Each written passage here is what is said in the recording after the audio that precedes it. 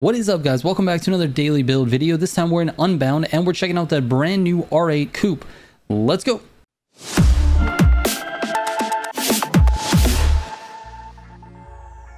Real quick before we get into the video, if you're looking for any of my builds on Need for Speed, either Heat or Unbound, you can go to militiagamingco.com, click the Need for Speed builds link at the top of the page, and uh, that'll send you to our nice little builds app.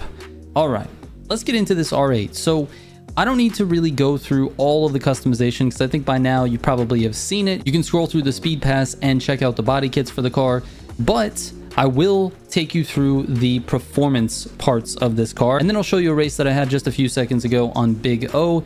It actually is very fast. It is a very, very solid S Plus car. The question is, is it as good as the Regera? Now, the Regera has been widely known since the launch of the game as the top dog in S Plus, and I think it still remains that way.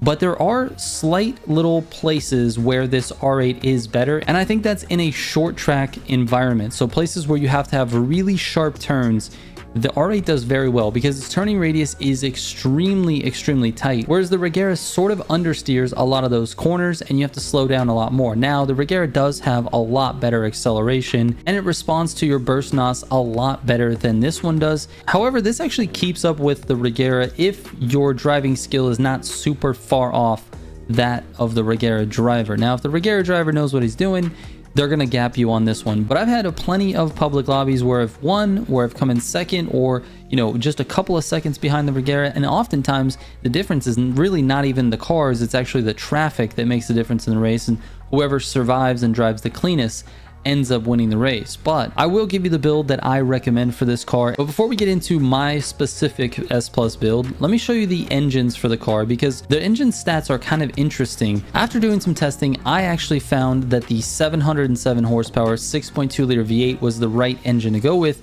And then I built everything else. So as you can see, I own every single engine.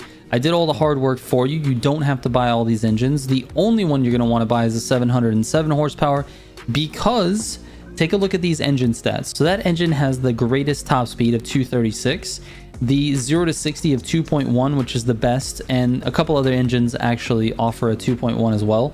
And then the power is 1223 horsepower, and the torque is 1033. It has the best power, the best amount of torque, the best 0 to 60, the best top speed. I mean, all around, it's just the right engine to go with. You might be inclined to try this V12 but the V12 is actually third on my list in terms of the stats. Now, obviously, it's really difficult to test cars and test engines in this game. So I did a couple of laps around the track with each engine fully built and fully specced out. And this 707 100% was the fastest engine.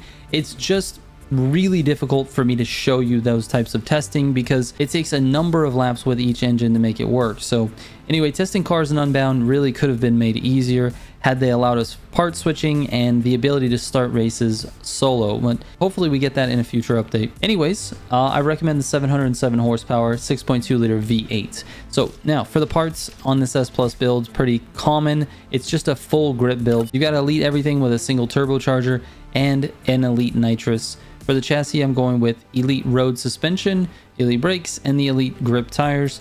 Then we move into the drivetrain Elite Clutch, Elite 8-speed gearbox, and the Elite Differential to give you that 100% grip handling.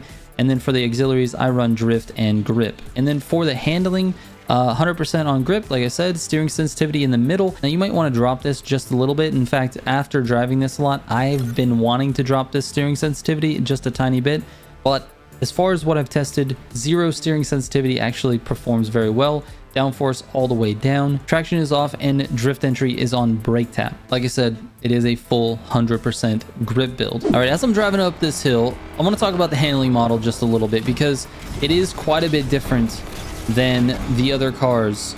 It is harder to keep your your micro drift alive and the steering sensitivity as you can see by that three burst turn is very tight, which is why I've been wanting to drop the steering sensitivity or the handling sensitivity.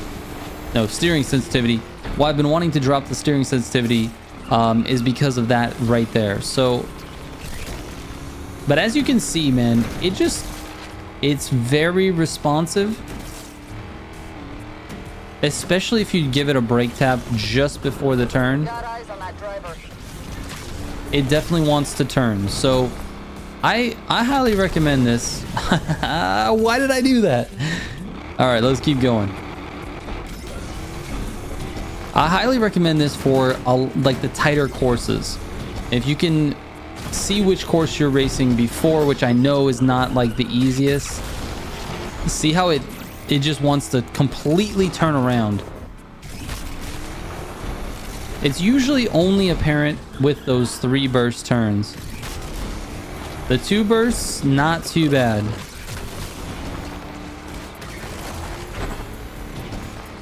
Accelerates very well. Right out of the turns. And I don't know, man. It just, it's kind of nice, dude. It's, it's just kind of nice to drive. It's also a nice change from the Regera. I mean, if you're in S Plus, that's the car that that everybody's going to be driving, right? I think you can compete with this one. Oh my gosh, dude.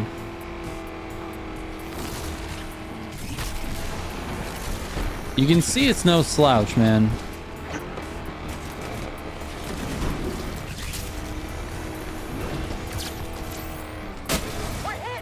Oh my god. I murdered that guy. And then just ran into this thing and killed the car.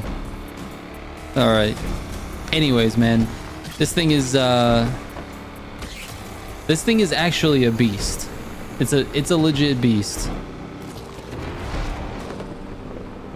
Alright, before we end this video, I'm going to show you uh, one run that I did on Big O.